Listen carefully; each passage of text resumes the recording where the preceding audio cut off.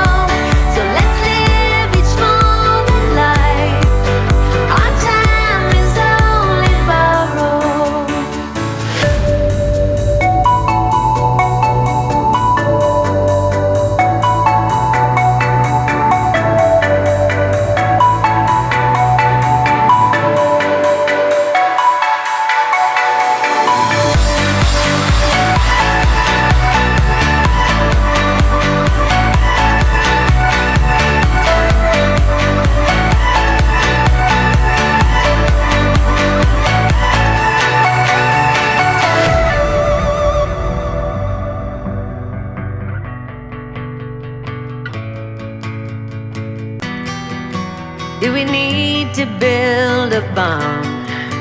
Do we need to fire a gun?